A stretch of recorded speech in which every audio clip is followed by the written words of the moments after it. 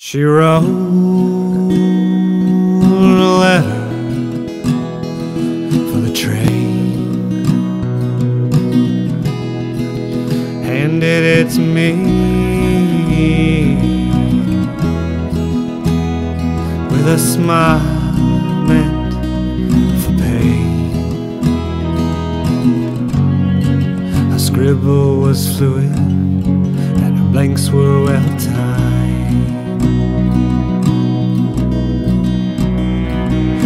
Veins of my arms convulsing in stride.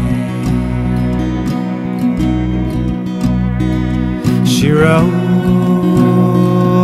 a letter for the train. Make no guarantee. Was her silent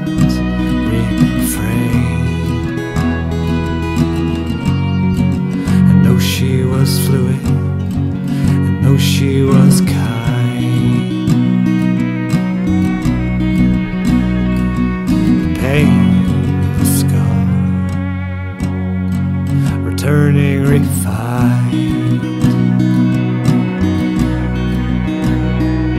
She wrote